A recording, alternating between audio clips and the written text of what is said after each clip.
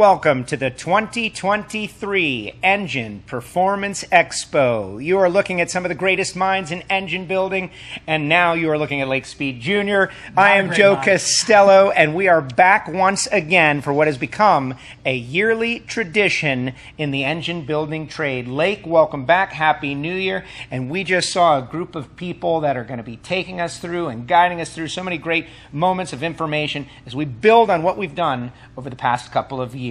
Oh, Joe, it's an all star cast. I mean, those are the greatest minds in engine building, and they're all right here in Piney Flats, Tennessee.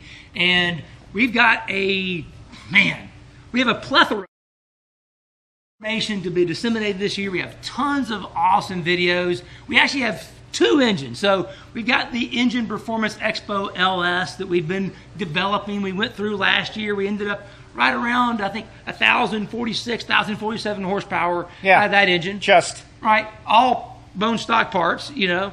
But this year we've added in a second engine. So uh, we found one of my dad's old NASCAR engines. Yeah, the, the Coy Smile, right? This is a great story. I'm so excited about this because this kind of spawned at the previous Engine Expo, right? Like how do we showcase new technology? And you took that ball and ran with it. Yeah, so we actually found one of my dad's old engines that he had been using uh, for vintage road racing in the shop, and we're like, hmm, this is literally a time capsule. What what engine technology was in 2002 when the engine was built?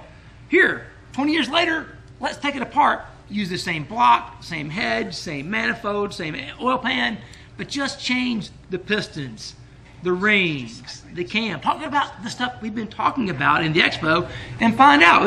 Kind of, you put up or shut up, right? if you do these things, what happens? Right. How much horsepower can be gained with 20 years of technological advancement? Right. So we dynoed the engine this past summer at, at Pro Motor. So tomorrow afternoon, Dennis Borem from PME will be sitting right here with me and you, and we can talk about that project a little bit. We won't tell you now what the outcome was. We can tell you this that that engine, when we put it together, and after sitting for 20 years, and we dynoed this summer, it only made 477 horsepower. Wow. So it was down, but it still ran. It didn't, and when we took it apart, we really couldn't find anything wrong with it. It was a bit of a mystery as to why the engine didn't make more power than it did. So as we go through today and tomorrow, we'll address what we did to it in detail, and then we'll when Dennis gets here, we'll show you what it actually made. Spoiler alert, if it was negative, we wouldn't be talking about it. right, right. It's pretty impressive, you know. So between taking the Engine Performance Expo LS and improving it, and then taking Dad's engine and improving it, I think we're going to have some pretty great real world examples of what the technology we've been talking about for these, well, this is three years now, the fourth episode of all the stuff we've been talking about. It's time to put up or shut up. And I will definitely tell you, the night before we dynoed Dad's engine, I was as I was nervous, right? Because it's like this is really put up or shut up moment, right? Because all those great minds we just saw, they all helped contribute to this project. So if we couldn't make a good number, then we should all go home. But we didn't have to. We're go not home. going home. We are not going home. Uh, so over the course of the next two days, and we encourage you to subscribe. For those of you on YouTube, click the bell, share the show. Uh, this is the kind of thing uh, for this year, for the first time, absolutely free, and anybody can watch, and you can spread it all over your social media. And many people watch after the fact, right. Uh, months ahead. Uh, we encourage you guys to do that as well, because this is about sharing information. And every one of our guests, they've got something to contribute. Whether we're talking about how to store your engine, we're talking about fuel pressure all these right. different uh, aspects, whether you're a racer, a bracket racer, a round track racer, you will learn something over the next two days. We've tightened up the show, and it is going to be great. A little faster pace. So as opposed to having longer build videos, these are going to be a little bit shorter, faster pace uh, process the next couple of days. And you know, it's funny. I was listening to a podcast from Formula One Drive. That's not Drive Survive. That's a TV show, Netflix. Formula One Beyond the Grid. Okay. Uh, it's a great podcast. I was listening to it, and they said, you know, how the drivers actually, after the season this year, they had a dinner, all in together. First time in 20 something years they did that. And it's, what it shows is this the new generation we're in now, is that we're in a place where collaboration. Right? DW used to call it co-opetition, Yes. right? That we're working together. In the old days, people kept information to themselves.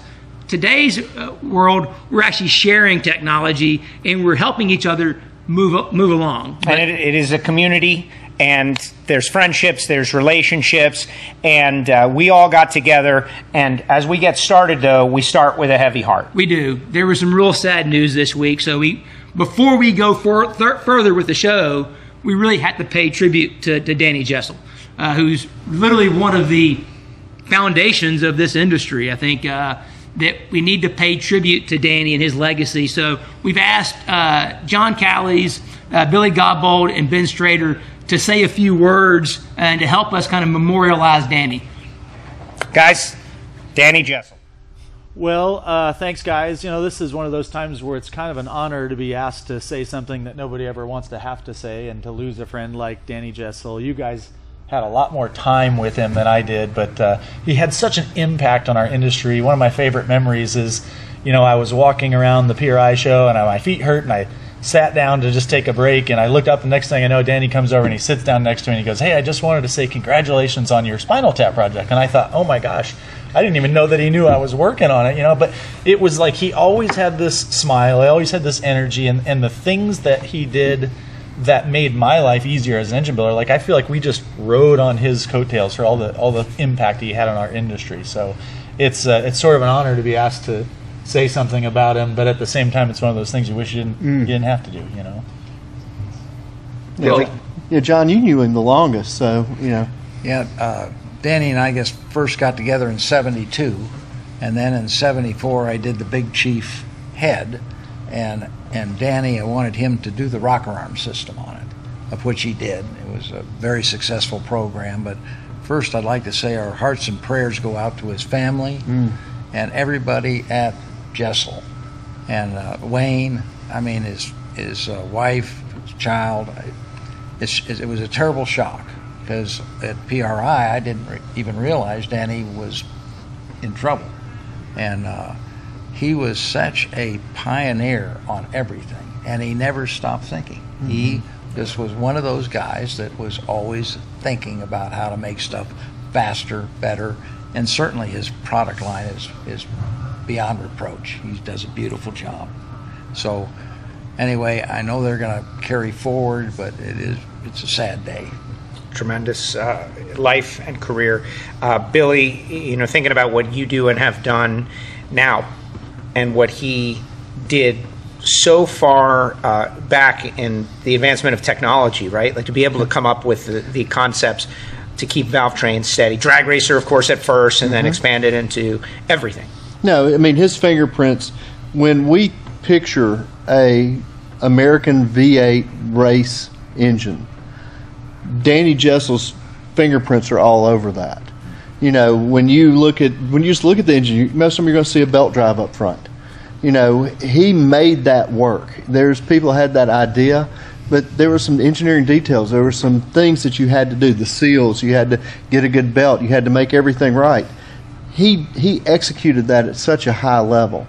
The rocker arms, when you take out a valve cover, the way rocker arms are laid out, you know, everybody was doing straight with offsets and they were all bent and everything. The from the aluminum rocker arm to then how the stands were done and everything, he did all that. I mean, this is a guy who in his office, you know, most people when they get successful and everything, when you know they might buy an airplane, they might buy a boat, they might buy a cabin and the thing he would have tinkering shops in his office. He would have a Bridgeport. He'd have lathes. He would, you know, he was most happy when he was tinker had an idea and then tried to whittle it out out of steel and aluminum. Um, you know, when I first started, um, you know, I love road racing, and so 24 Hours Le Mans is like one of my favorite things ever. But when we started doing camshafts for teams in 24 Hour Le Mans, they were all flat tappet camshafts rollers were legal, but you couldn't run them because nobody had a roller lifter that would finish a 24 hour race. Well, Danny just wouldn't take that for an answer. And he built this lifter that was so robust that it didn't have any trouble 24 hours. And that wound up becoming the lifter that everybody runs in NASCAR today. That, that you know, because NASCAR used to be flat tappet cams in the Winston Cup because it was the longer races. He built a lifter that would run for the whole 24 hour, you know, whole 24 hour Le Mans for that thing. Um, you know, Danny, I grew up. You know, Scooter was sort of my mentor, and Harvey Crane was was my professor. And I went to Harvey's all the time. Um, Danny Jesel is like the Ed Iskenderians, the Ed Winfields, the Harvey Cranes. He's in the Mount Rushmore. He is the pantheon of engine builders. Um, you know, he started getting interested in the AETC, which is a lot like the Performance Expo. And I decided, hey, look, I'm going to be this guy's friend. So every time that, you know, and he always saw me as a competitor, I always saw him as a hero. And, and so, like, every time he'd go have, yeah, I'd watch and I'd be staking out in the back and like, where's he going to sit down? And every time he sat down and have a meal, I made sure I'm just right up there next to him talking to him. And, you know, eventually we became very fast friends. I got to help on the Equal Eight and be part of some of that sort of things. But, you know, it was like, that was one of those guys that you're like, okay, if I become anything in this industry, I'm going to leverage that to become this guy's friend because he's my hero. Does he know that you manipulated him? Like, Oh, absolutely. Okay. You know, it was totally. You know, I, I let him know afterwards Yes. that, that, You gotta do that, that this is absolutely you're my hero. And it was weird because for Danny, he saw because I was involved in valvetrain, he was in valvetrain. You know, he'd be working for one cup team, I'd be working with another cup team. Sometimes we were working on the same, but he always saw it was kind of like a competitive side being a drag racer, and it's like. No, Danny, you're not a competitor. You're my friend. You know, um, I'll do anything in the world to try to help you achieve anything you can. And you know, it's going to be so interesting because this industry is better because Dan Jesel was part of it. Yeah, and he left us a template, right? Like Right. he gave us a, a way of thinking about problem solving and Right. about running business. We were talking the other day about how good he was, you know, and and uh, and, and treating people. You know, he just eh, eh, all the things that you would want to be when I grow up. I want to be like Danny Jesel. You know, and that was great. I said he was a hero, and I remember AETC that the last time I spoke, I was so prepared. and I had this great presentation. I got up and looked down. And The first person I saw in front of me was Danny Jesel, and I had a complete panic attack. I'm like, I don't know what to say because I can't talk about this in front of that guy because he knows stuff and I don't. He's Danny Jesel, but he was a real, like you said, uh, just a champion of our industry. Somebody mm-hmm. that did everything the way it should be done and gave us something to look forward to and look up to and say he's our role model. Mm-hmm. Yeah. Yeah, I mean the thing that you said, like, you know, a lot of us try to figure out how to make a business plan, then make a product. Mm-hmm. Dan's like, well, we need this, so we're going to make this, and then we're going to figure out how to sell it afterwards, or we're just going to make this because I mean, like he made the equal eight just to show it could be done. Mm-hmm. Yeah. You know, it wasn't a there wasn't a class, there wasn't a way to make money off of it. It's just this is the way I think an engine should be mm-hmm. built. And the same thing, like the belt drive, this is the way a belt drive should be done. The rocker arms is the way a rocker. The lifters is the way a lifter. Everything Clamshell is good. bearings. Clamshell bearings. Yeah. This is the way it should be done. And then if people adopted it, it was like if it was successful business wise, awesome. Yeah. If it wasn't, he still made something he was proud of, and he was going to make something he was proud of first. Yeah. And then if you build a business case, great. Great. If you can't, okay. And we're going to learn more about the Equal Eight over the course of the next couple of days as well. We're going to feature that, and it is running NHRA Comp Eliminator now, and, and just uh, amazing stuff. But it's unfortunate that we have to go through this, but I always think about what the person that we are honoring would want us to do. Right. And uh, it is my guess, and of course, John, you, you knew Danny the best. What do you think he would want us to do here today with this uh, with this program? Go forward. and that's Danny. I mean, you know, Danny was, I mean, we were a competitor, but still a good friend. And Danny doing it in the U.S., U.S. people, I have, I wish we had 20 of them, you know, but uh, Danny built a gorgeous business and it's going to continue to succeed. And, uh, but we will miss Danny and his thinking. you know. Yeah. I mean, he was just a wonderful guy. Yeah. Danny Jesel and family, rest in peace. We miss you and, and thank you for what you've done for our sport and our uh, and this trade here. Now, Ben, we're going to move forward. We're going to talk about uh, these engines, and we're going to keep Danny in our thoughts and, and our prayers. And and you guys, uh, you guys went to work.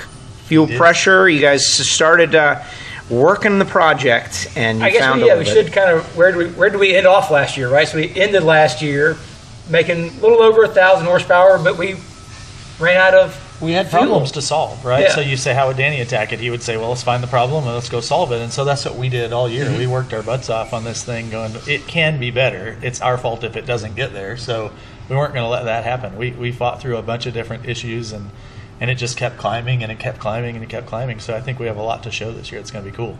Excellent. So everybody out there, hang with us. We got two days of great content, and starting off with these two Yeah. working on an engine. Let's check out the video.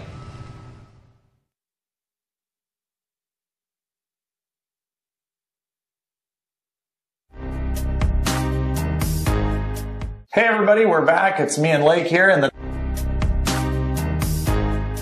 Hey everybody, we're back. It's me and Lake here in the dyno cell this time. And sir. uh, you know, we've been working on the engine performance expo engine for quite a long time now. yes, Been through a number of different iterations and um, made some big power. we did, yeah. So I kind of wanted to share with everybody what happened along the way and what changes we made to be able to do it. Right, because we definitely hit some limitations Oh yeah, absolutely. And so it's kind of cool learning process to kind of see Sure. what those limitations were.